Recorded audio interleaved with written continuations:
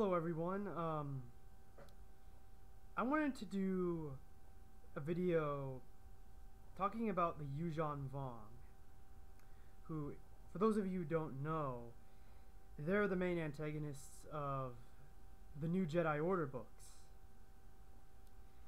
So a lot of people have, a, ha, they hate the Yuuzhan Vong. EU haters especially. They just say, oh, you know, they don't feel like Star Wars.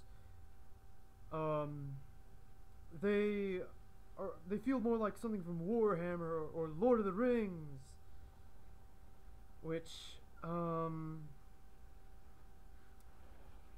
I don't really have a problem with. It, it sounds to me like you're more close-minded, that you just want X-wings and Empire, original trilogy. That's only Star Wars.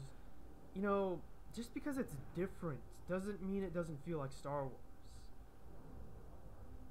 They are really weird, but that's what makes them interesting. They're so different.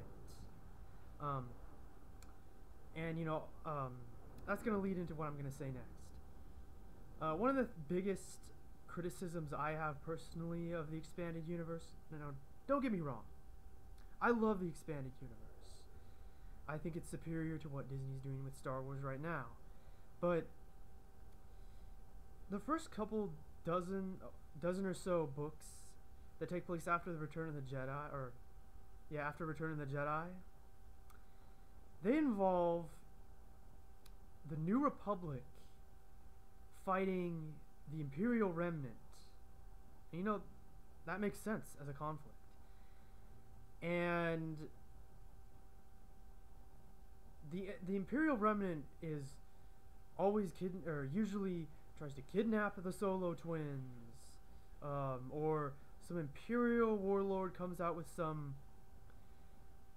there's, some big super weapon even more destructive than the Death Star, and there's only like a certain amount of times you can do this before it starts to get stale, and um, that's also another thing uh, EU haters also like to criticize about the EU too, but and they're like, yay, they got rid of the EU, so now they can do something new.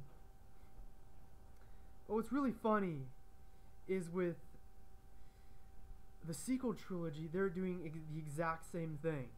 Imperial Remnant versus New Republic. And then they have a giant super weapon. When they did New Jedi Order, it was such a fresh breath of fresh air from that conflict. We finally had a new conflict and a very alien one at that. Um, I read the first few chapters, maybe the first uh, hundred pages of the new Jedi Order books, and so far the Vong are just creepy, and they're interesting too. Their technology I think the concept of um, civilizations using organic technology um, is really interesting. The I won't really say that much more because I don't want it I don't want this to turn into a review of New Jedi Order. I'll review the book when I'm done with it, but like I said, they were interesting new threats.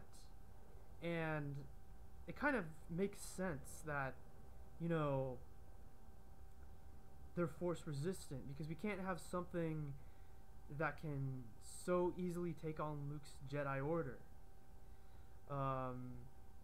A lot of problem, a lot of people have the problem, have a problem with the Force not being in the Vong. Honestly, because they say that contradicts. Oh, the Force is in all life. It, it's in every single life form. Well, you know, you people seem to have no problem with the ysalamiri who can push back the force, so you know, I honestly have no problem with it because I think the EU did explain this. Why the Vong don't have the force in them. And if you have no problem with something um, being void, devoid of the force, then how come you have no problem with um, Meetra Surik, the Jedi exile, being cut off from the Force.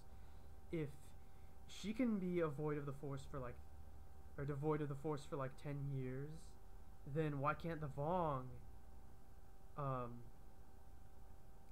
not be devoid of the force so and the fact that george lucas approved of this